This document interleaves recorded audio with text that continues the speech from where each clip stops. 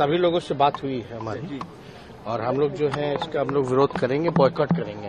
तो पहला सेशन है। हम लोगों का मानना है कि राष्ट्रपति जी जो हैं उनसे जो है उद्घाटन कराना चाहिए था। क्योंकि पार्लियामेंट के जो हेड होते हैं एक तरह से वो राष्ट्रपति ही होते हैं। और उनसे ना करा करके ये कहीं ना कहीं से राष्ट्रपति जी का अपमान जो है वो किया जा रहा है।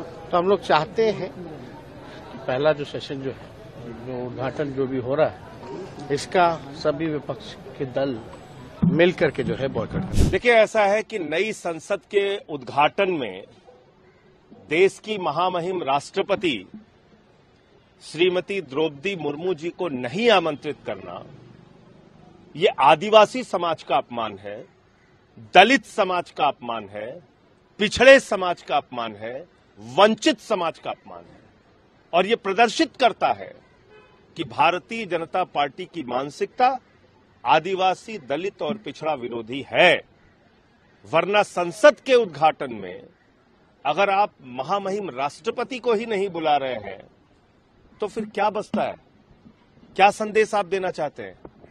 आपने महामहिम राष्ट्रपति का तो घोर अपमान किया ही है, साथ ही साथ इस देश के आदिवासियों का, दलितों का वंचित समाज का घोर अपमान किया है। इसलिए आम आदमी पार्टी इस कार्यक्रम का बहिष्कार करेगी और नए संसद के उद्घाटन के कार्यक्रम में हम लोग नहीं जाएँगे। हमारा आज भी प्रश्न एक ही है कि भारत के महामहिम राष्ट्रपति जो एक एक हम्बल बैकग्राउंड से उठ के यहाँ तक पहुँची, आप उनका अपमान क्यों कर रहे हो?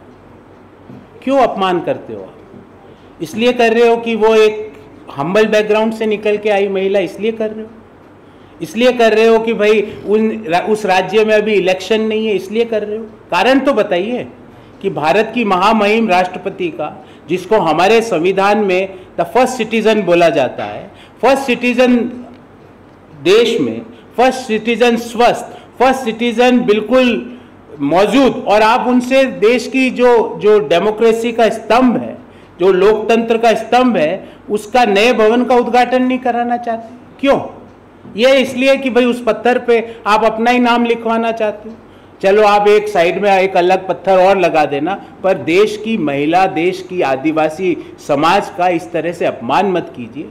वो महिला एक हम्बल बैकग्राउंड से निकल के आज देश की राष्ट्रपति बनी, अपनी ताकत से, अपनी सूझबूझ से, अपनी लगन से, अपने परिश्रम से बनी। आज आप उस महिला का और पूरे आदिवासी आदिवासी समाज का क्यों अपमान कर रहे हो? देश और कांग्रेस पार्टी ये सवाल देश के प्रधानमंत्री से पूछना चाहता है।